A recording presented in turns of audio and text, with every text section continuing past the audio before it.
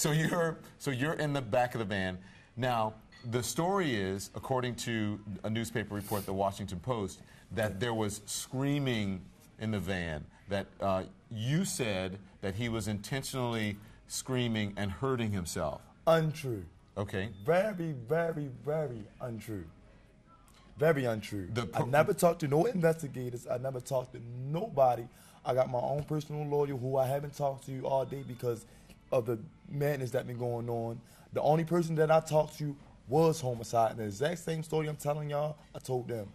There, a, there's a relative of one of the officers involved saying that he was irate and screaming and moving around in the back of the van While I was back there, while you were back there, or at least, at least during untrue. part of the ride. I'm not sure if you were back there. absolutely untrue.